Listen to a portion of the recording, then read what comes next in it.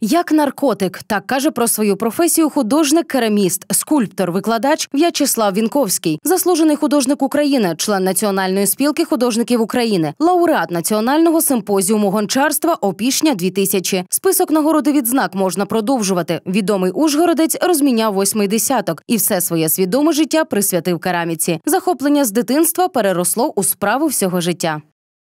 ідеї завжди крутяться. Я, в принципі, художник-анімаліст, е, бо більше тваринами і, е, і міфологія, і, і таке. Ми перші починали в Україні трипільську культуру, коли ще ніхто, а зараз поповнив. Від маленьких фігурок до великих паркових скульптур руки майстра торкнулися глини, і в результаті творчий доробок, що сягає тисячі керамічних виробів. Чимало з них у експозиціях музеїв України. Фотоальманах як хрестоматійні взірці на приватних колекціях. Персональні виставки, на жаль, останнім часом не експонує. каже дорого.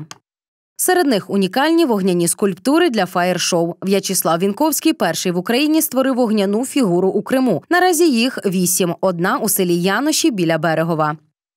У 2009 році мене знайомі е, запросили в Полтаву о, е, зробити вогняні скульптури. Ну, я поїхав. Вогняна скульптура це вона ажурна декоративна. Обов'язково ажурна, бо коли відкривається вночі, і вона горить разом з тим вогнем, що в ній був. Вона як світильник робить, і, і заодно як і можна такі декоративні димоходи робити, в принципі, бо вона пуста всередині має пропускати через себе е, полум'я.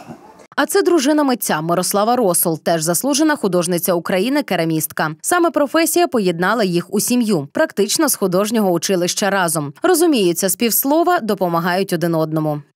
Кераміка дуже тяжка робота, і там по одному не завжди виживеш. Особливо, якщо ти собі ставиш високі питання, високі цілі і високу планку. Важко, бо інколи не сходяться ідеї, не сходяться е, погляди. Але, знаєте, помісиш глину і, і, і все перестає. Всі, всі нерви підуть в глину. Глина тримає. Воно таке, знаєте як? Колись ми в Опішні були на якомусь пленері. Ну і ходили, ми там в милі були, вже не встигали. І вони, яка у вас концепція? Згадала Біблію. Ну, сказали, з глини повстали, в глину і підемо. Все. Це не, ну воно так і є. А це майстерня в центрі Ужгорода, свята святих творчої родини. Тут на подвір'ї кілька різнофункціональних печей, де опікають вироби.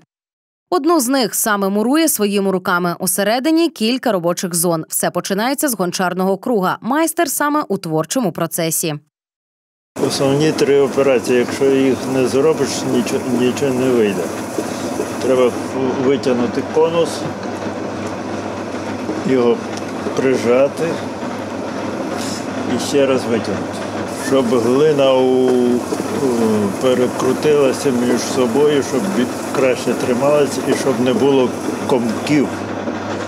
Десь твердіше, десь м'якіше, бо вони потім